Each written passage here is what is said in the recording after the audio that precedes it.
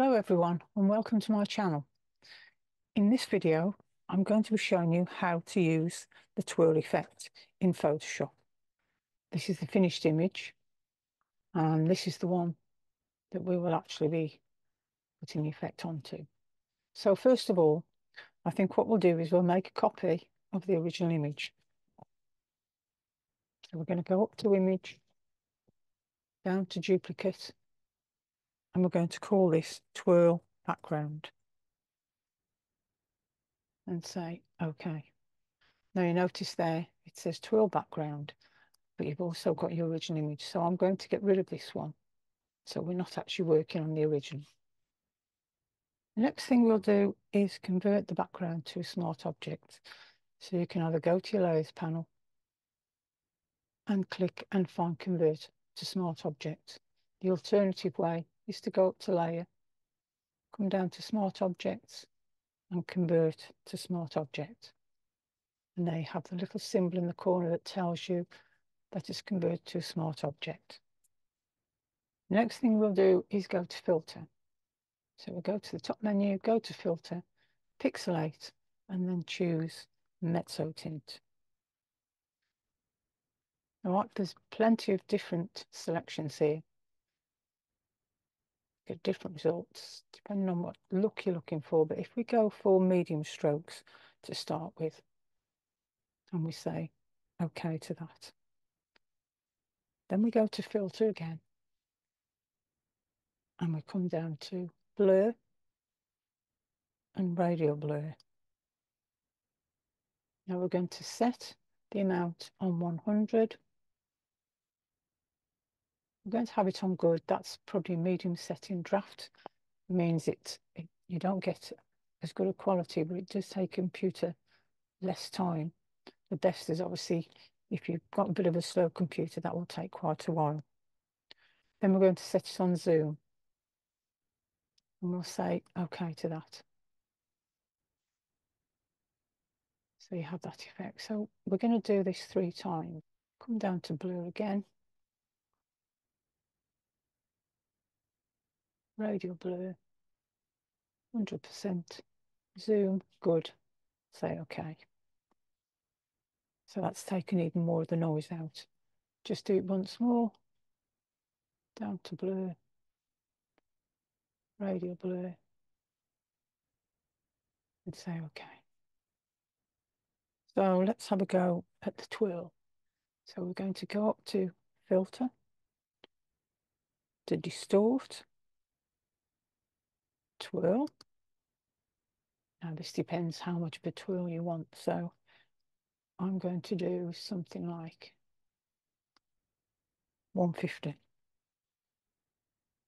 So you can see what sort of a shape you're going to get from the view. Now we're going to apply another twirl, this time in the opposite direction. So we go to filter again, down to distort, and twirl. This time we're going to go minus 150. So just type the minus in front of there and say, okay. Now we're back to where we started. So you think, how's that going to be a twirl? Well, let's just wait and see. So if you look to the right in the layers panel, you can see the different filters you've applied. You've got the mezzotint, three radial blurs, and two of the twirl effects. Now, if you click on the first twirl and then double click on this icon to the side, say OK to that. And here's where you can apply a blend mode. Now, normally, lighten or darken is probably the best. So I'm going to go for light. And I quite like that effect.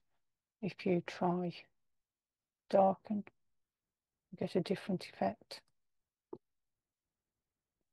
There's quite a few different ones. But I think lighten or darken does definitely work best.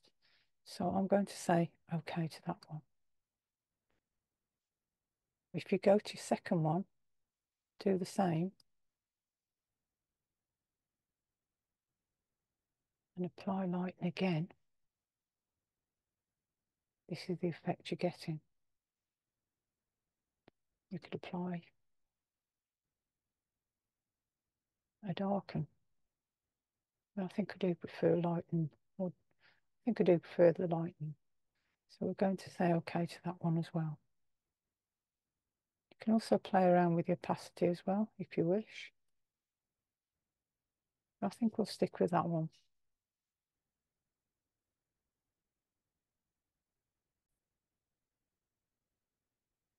Now the great thing about having these on smart objects is you can go into any one of these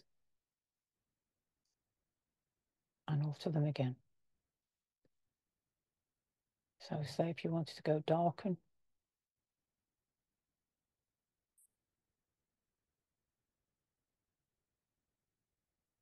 overlay. Oh, So that's the great thing about these. You can alter any of these filters now and have different settings, but I'm going to stick with what we've got. And I think um, what we'll do now is we'll we'll save that as it is. So I'm going to save it on my desktop for the time being. Save it as a Photoshop file. Named it Twirl Background and save. Say OK. Now I think what I'll do is I'll take this a stage further. So I think what we'll do is we'll flatten the image. Make sure you've got all your rulers selected. And if you go up to view, make sure you've got rulers and snap selected. So you'll have the rulers down the side and across the top. So what I'm going to do now is drag the ruler down.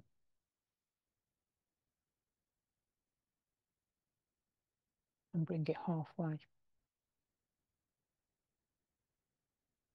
And I'm going to select the top half of the image because there's quite a dark piece down here. And I'm thinking of having this. So select the rectangle marquee and select the top half the image. Now we're going to duplicate that and put it on, on its own layer. And we've just pressed Command and J. Okay, so that gives us our, our layer select. It's on its own layer. And what I'm going to do is go up to Edit transform and flip vertical. Okay, so you've got the top bit flip vertical. Then I'm going to use the move tool.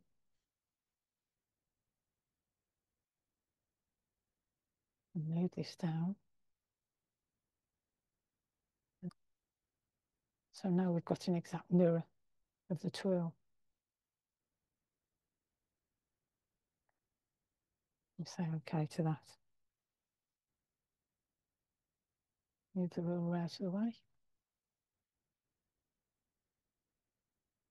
So you can actually save that one as twirl background number two, which is what I think we'll do. So I'm going to save that on the desktop. Twirl background two and save. So now you've got the choice. Let's just go and open. Open the other background. Open.